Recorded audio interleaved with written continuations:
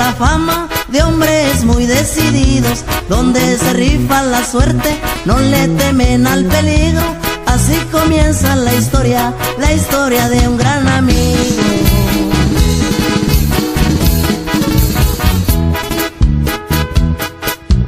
Fue un 15 de junio en el año 2011, cuando el gobierno llegó, su propiedad le rodearon, se celebraba una fiesta,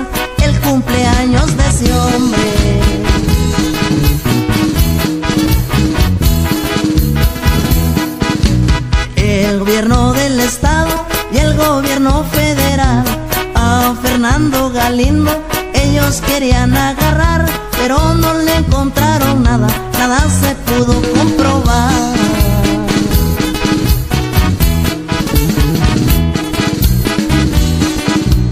Unos quieren matarlo,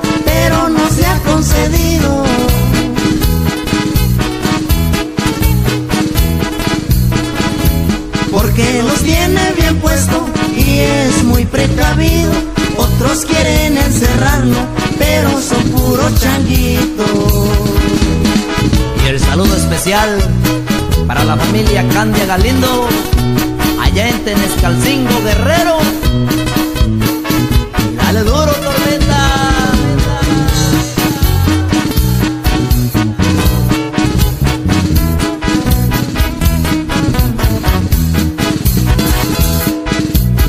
Cuando se pone a tomar, siempre con sus amigos y no le puede faltar.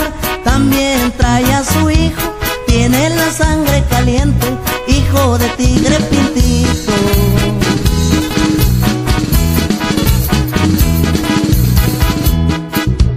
El gusto y su pasión, las armas y las mujeres, siempre lo verán paseando por las calles de su pueblo, Guerrero.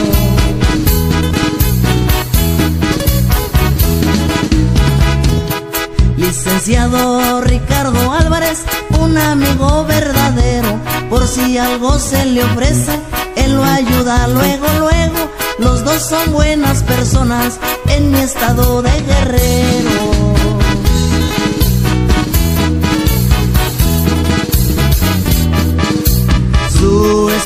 Querida siempre está a su lado.